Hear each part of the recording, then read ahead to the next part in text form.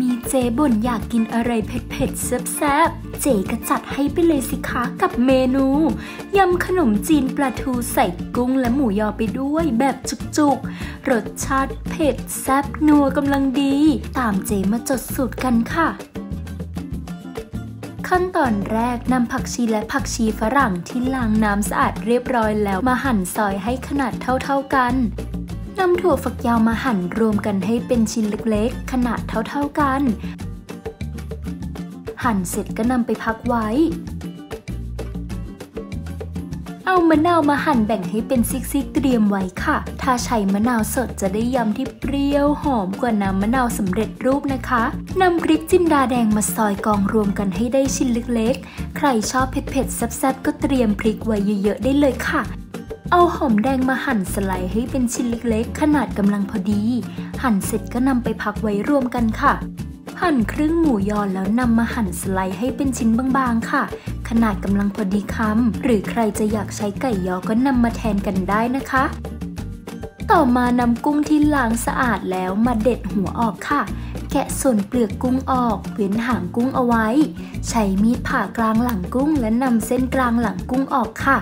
ถ้าปล่อยไว้หากกัดเข้าไปอาจจะรู้สึกขม และทำให้เสียรสชาติอาหารได้นะคะ ขั้นตอนต่อไปตั้งกระทะไฟแรง เทน้ำเปล่าลงไปค่ะ เมื่อน้ำเดือดแล้วก็นำหมูยอที่เตรียมไว้ลงไปลวกในน้ำร้อนได้เลยค่ะ ลวกไว้ประมาณ 20 วินาทีก็ตักขึ้นมาพักไว้ให้หายร้อนนะ จากนั้นก็นำกุ้งที่เตรียมไว้นำมาลวกในน้ำร้อนต่อได้เลย กุ้งเปลี่ยนสีก็ยกขึ้นมาน็อกในน้ำเย็นทันที ต่อมาตั้งกระทะไฟกลาง เทน้ำมันลงไป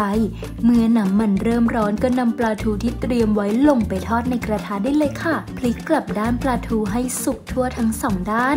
ทอดจนปลาทูมีสีเหลืองสุกได้ที่ก็ยกกระทะ เมื่อปลาทูหายร้อนแล้วก็นำมาแกะเนื้อกันค่ะขอส่วนคีบหลังและท้องปลา เทคนิคนี้จะช่วยให้แกะเนื้อปลาออกจากก้างได้ง่ายขึ้น อย่าลืมเอาก้างออกให้หมดด้วยนะคะ เดี๋ยวจะเผลอทานเข้าไปแล้วติดคอเอาได้นะ แกะเนื้อปลาเรียบร้อยแล้วก็นำไปพักไว้ก่อนค่ะ เรามาเริ่มยำกันเลย ใส่น้ำปลาล้าลงไป ปรุงรสด้วยน้ำปลา น้ำตาลทราย พริกป่น บีบมะนาวเพิ่มความเปรี้ยวและความหอม ใครชอบแบบเปรี้ยวๆก็บีบไปเยอะๆเลยค่ะ คนให้ทุกอย่างละลายเข้ากัน จากนั้นก็ค่อยๆ แบ่งเส้นขนมจีนลงไปคลุกเคล้ากับน้ำยำก่อนพอประมาณนะคะ แล้วก็ใส่พริกแดงหอมแดงและถั่วฝักยาวซอยลงไปค่ะ ใช้มือขยำคลุกเคล้าให้เข้ากันจนทั่ว ตามด้วยกุ้งสุกหมูยอ และเนื้อปลาทูแกะที่เตรียมไว้ค่ะ คลุกเคล้าทุกอย่างให้เข้ากัน ตบท้ายด้วยผักชีและผักชีฝรั่งซอย เท่านี้ก็เรียบร้อยแล้วค่ะกับเมนูยำขนมจีนปลาทู กุ้งเด้งหอมปลาทู